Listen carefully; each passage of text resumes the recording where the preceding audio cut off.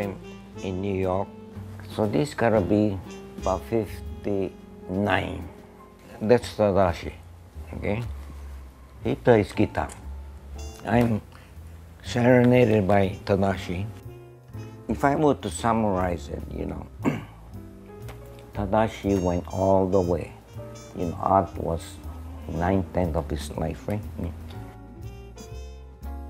New York was incredibly far away from Hawaii in the 19, late 40s and early 50s. Um, it doesn't seem so far away now, but I think, I think the fact that they had the courage, um, that they had the desire, but then the courage to do that. And in Tadashi's case, initially he was leaving behind his new wife and new daughter and going off and doing, you know, this adventure alone. I mean, all he wanted to do was paint because he had this need inside. It was part of his life, and he just he just had to do it. He always said, "Paint every day, paint every day," and um, but you know, believe, really believe in yourself. He went without any kind of expectation, but he went with the uh, resolve that he was going to make it. Leaving Hawaii for artists like Sato and others, especially in that post-war period, really allowed them to engage a larger world, to perhaps reach beyond the insularity of the islands.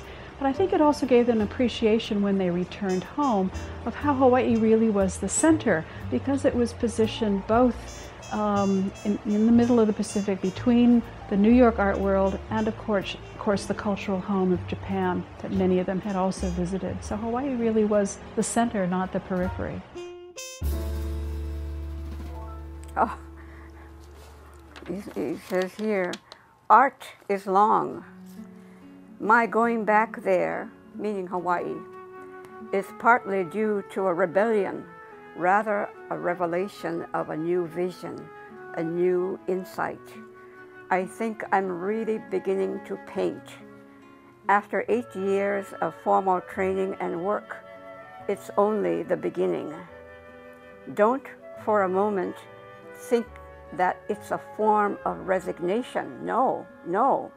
A new journey. I feel I'm capable now to begin flapping my own wings.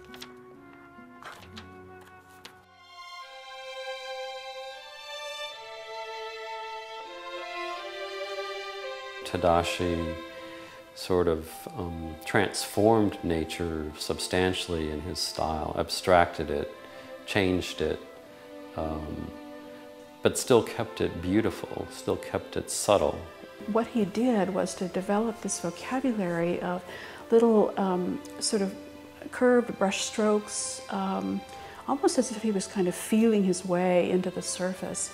And the relationship of those brush strokes, because of the way they were placed on the canvas, would catch the light differently. So you'd see this thing kind of start to shimmer and almost pulse. When you think about something as sort of insubstantial as air or as ever moving as water, um, those things I think Tadashi learned how to capture. And so the process of the way he worked with the brush really was meant to capture things that almost sort of went beyond the scene.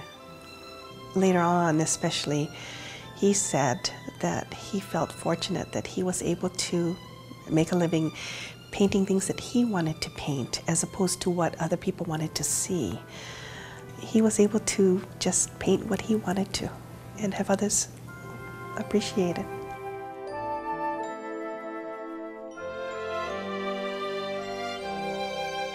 Painting is um is a force working from within you.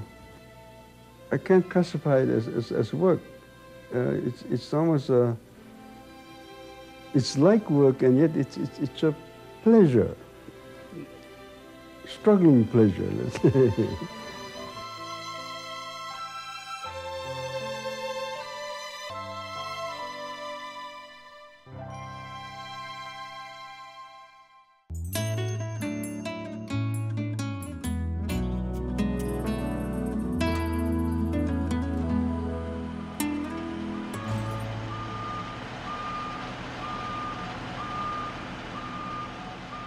Integrating art into architecture is something I'm really interested in and I'm always looking for opportunities for. So in this case, with the court building, here's a great opportunity. This is the place where some art could go in this big window because it ties to the central purpose for the building and since public art can have a whole nother layer of meaning, we had an opportunity there. It was a collaborative process. So to me, it was a neat collaboration because usually when you do art, it's just yourself. But now you're you're having this whole group of people that uh, they want to be on the same page as you.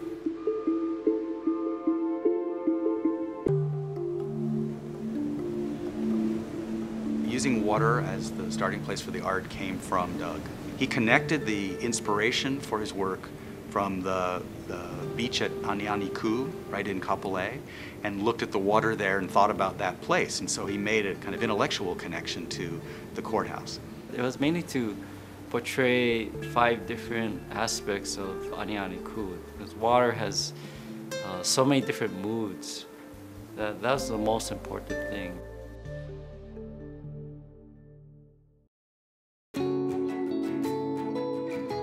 Doug Young worked with artisans at um, a glass manufacturing and artisan um, enterprise in Germany. And so he worked a lot with the people who are you know, masters of translating the color and the pattern into the glass. It's Peter's uh, Glass Malarii, which is like Peter's glass factory. And they have a factory and office in Paderborn and a another studio complex in Neuenbeken, which is about five miles away. Because this was groundbreaking in size and in technique, um, they went all out to help us out the most they could. I had a certain advantage of being naive about it. You know, the naivete was uh, good because I kind of say, well, you know, this is what I want, and try to push it as far as they could do it. They could say, well, you know, we only can go this much. But you I said, well, can you do this or this? And then it would be, well, let's try it. You know, we've never done it before. So that was, to me, that was an advantage.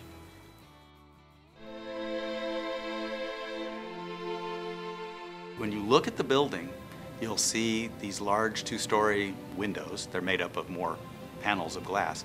And uh, they occur exactly at each courtroom. Uh, the glass is um, a specialized glass. It's, for, it's called architectural glass. And you can't just uh, put this kind of glass, any kind of glass up on buildings. You have to have a, a certain performance. One level of that glass is textured. It's called slumped. It has ripples in it that correspond to the design.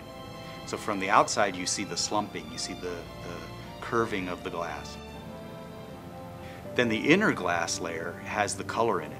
As you get closer and closer, it has fine detail of little dots and bubbles and grains and um, all of that together.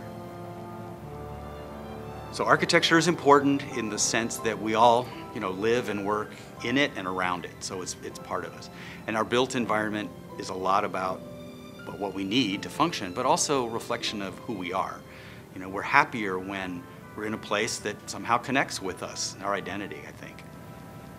You know, we can go beyond this too, you know, because now we know technique-wise that this is possible. And I'm just saying, well, as an artist, we can push it further. As an artist, you're trying to do as best as you can. And whatever happens, uh, in the future, I don't think about that that much. It's just you, you try to do the best you can at, at, that point of your time, and you know, time will tell whether it becomes something that people will, will come and look at or or remember.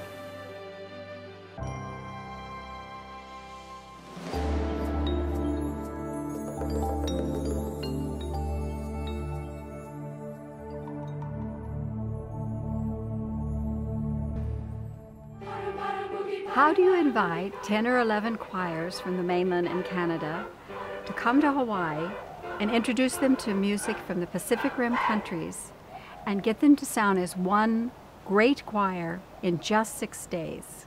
The key ingredients are a world class conductor in Henry Leck, the beautiful setting in Hawaii with all the cultural riches, and a fabulous attitude by all the singers who come. Your name? Sophia Kuki. You know, when I conduct courses, there's certain faces inspire me. And your face inspires me. Every time she sings, her eyes are there, her head is there, and you, you sing every word and every note with passion. Thank you. Give her a hand. That,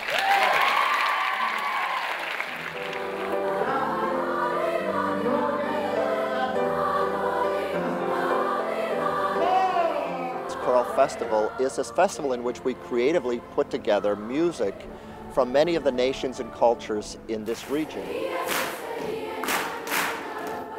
The singers get an opportunity to add their own creativity to the process. For instance, we're doing a piece from the Torres Strait Islands, and the movements were there for the first section and the last section. But once they learned the nature and the character of the movement, they got to create the whole center section themselves.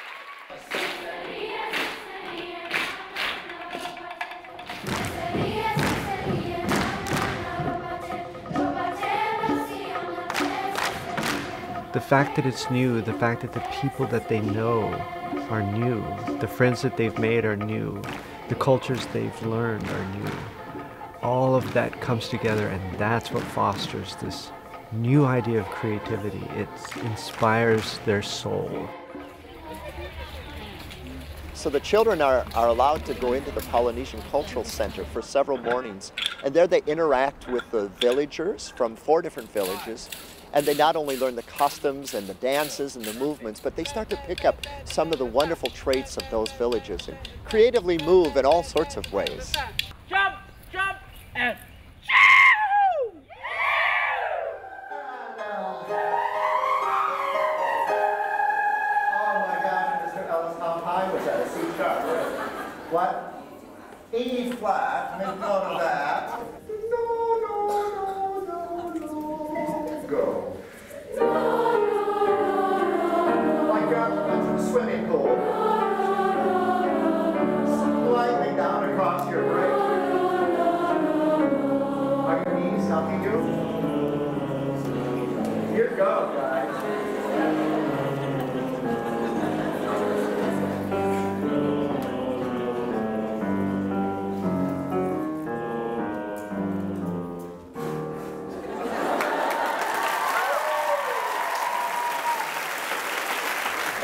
low E flat. So directors, you can figure out how many octaves we've just sung with this children's choir.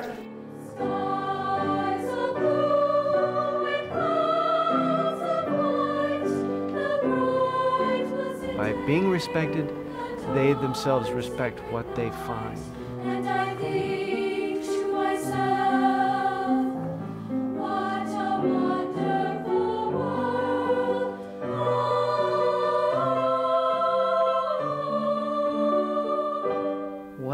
Wonderful world.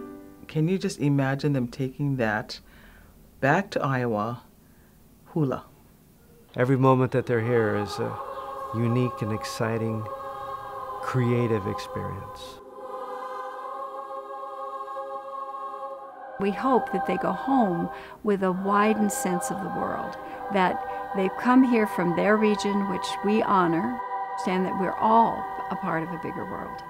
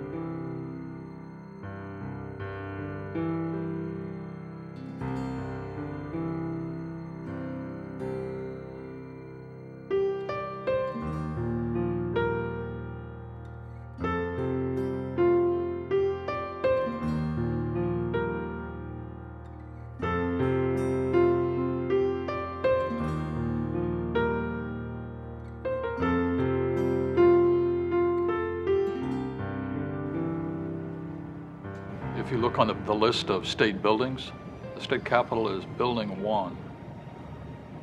And the, it's arguably the most important building, and this is arguably the most important piece of artwork in the state. It's definitely the largest. So having it um, brought back to life essentially uh, is, is a good feeling. It's probably the most significant work of art in the state of Hawaii because it's in the center of this Capitol building, which is the center of our state. And so when people see that in the center of our whole state capitol, and we have this work of art. So it's this jewel in the middle of the Capitol. You know, it started as a painting, sort of a human-sized painting, and then in when the Capitol building was built, was translated into a glass mosaic. And over the years, it gets a lot of wear and tear in there. Uh, that mosaic has suffered. So what we're talking about now is its third incarnation. The mural had delaminated from it, separated, and so you had this band of the glass that was lifted off. And between there were these cracks. And as the cracks grew, more and more minerals would come through it and they would get bigger and bigger and bigger. So you had these real obvious cracks that were forming in it. It was really my job to go in and figure out what went wrong with the existing conditions and what caused it and what it was going to take to fix it. We went with the old traditional manufacturing process of the glass, nothing new and high tech, where they create the glass, they slump it out, and break it up and hand make these tiles. So each tile is irregular, but approximately the same size. I had to know what colors to order in Italy, in Venice, uh, for, for this project. Only then we were able to start actually with our fabrication in Munich. What they did is they scanned the original painting by Tadashi and printed it out on paper, 100% to what the capitol mural size is. And they began to lay out the sections of the mural on those. The tables they built them on were not large. They never had the whole mural all at once. In fact, they would work on one section of it at a time and look at the ceiling and they have mirrors and that's how they could get the perspectives looking at it. That company was chosen because they've been doing mosaics since the 1800s and part of doing the making the right choice is we didn't want it to fail again. So they said if they install it, they'll guarantee it. It took them about two and a half weeks. And the first day they measured and oriented themselves, laid it out to see if it fit. And then immediately after, they did one whole section a day. I don't recognize myself as an artist. I'm doing artistic work. Um, we all from our crew, we, uh, we translate actually artists' uh, uh, designs into the new medium mosaic. We always work with artists and the artist is the most important of course, at the end, always uh, that's, you know, at the end we must say that's a handmade work. Certain imperfections are actually part of the mosaic, and um, that makes also the beauty of the mosaic.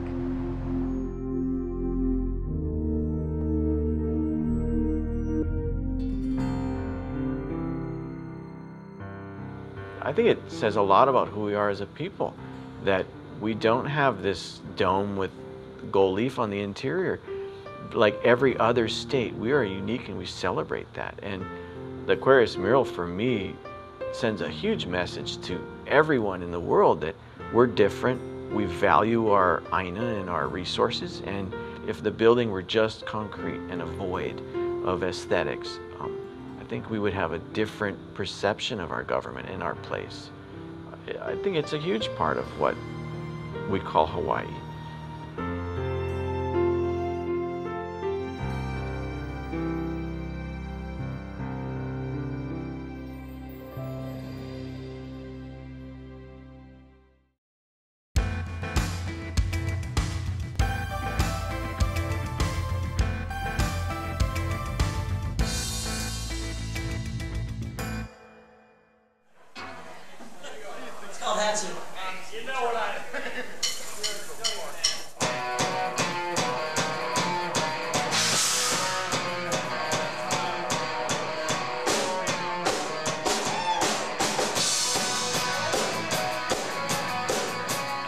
Came to New York City as an artist. I, I, I left wanting to be a musician. And that's the first thing I wanted to do when I came back to Hawaii. I wanted to be in a band. And so um, that's what happened to me. That's what happened to me. From the first time I heard a power chord, that was it. I was like, oh my God, what is this? That was the epiphany. Oh, that's this is it. Something that is going to be a big part of my life for the rest of my life. And that's what it was. My memories of Oriental Love Ring back in the uh, back in the day. I mean, besides the hair, um, the volume. The rock and roll life was it was a great life, um, but I never wanted to leave Hawaii. I'm, unfortunately or fortunately, I love this place, and you know I've opened for great bands. I've played before thousands of people. You know, I, the only thing ever missing from from my rock and roll story is money.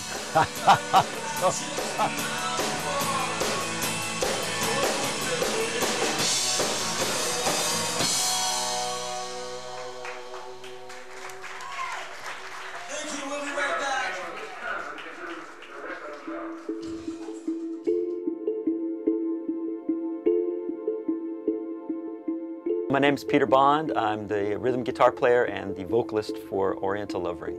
You know, I work uh, at Island Guitars, uh, repair guitars, um, surf on my off times, and play music whenever I can, get together with friends. It's all pretty, pretty quiet, mellow, easy going.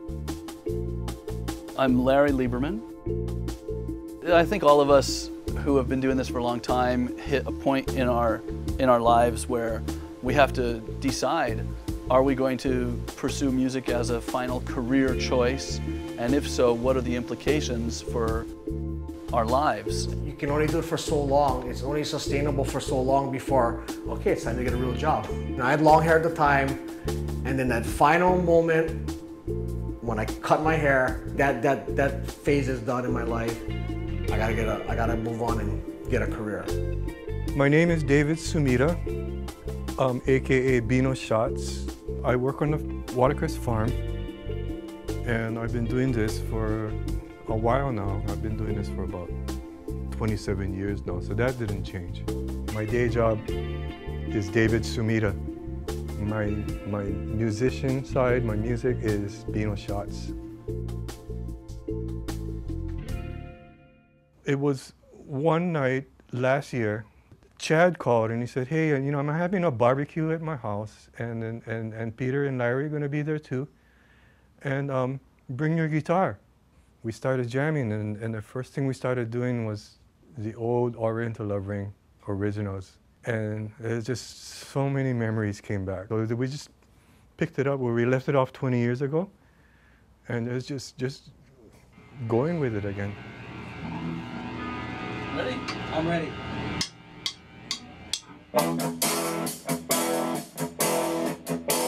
None of us are under uh, the pretense that, that we're going to go out and make Oriental Love Ring our career, you know? Uh, and I think that's a, that's a big difference now than it was 20 years ago for the guys in the band. Just have a good time, you know? The, you're back together with your friends again and just go with it. So that's how it's different this time, for me anyway. You know, there was a connection. We just knew right off the bat. We were just like, wow, this is great. You know, um, I got, you know, three of the best musicians that I've ever wanted to play with. Best feeling in the world.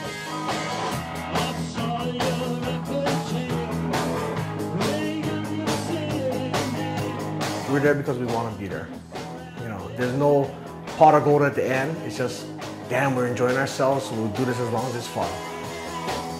I can definitely sense when all of us together are all on, it sounds like it takes on a life of its own.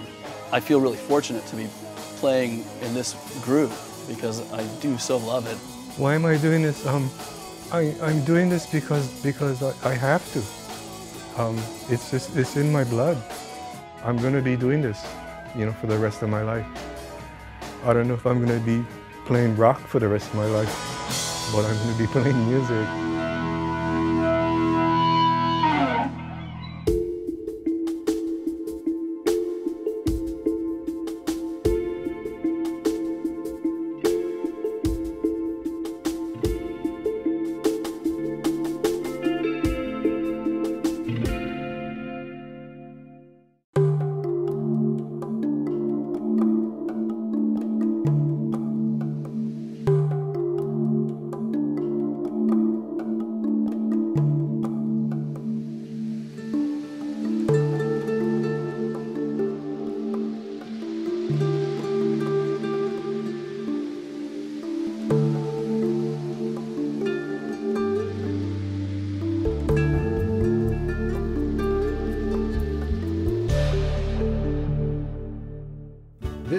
Program was made possible by the Corporation for Public Broadcasting.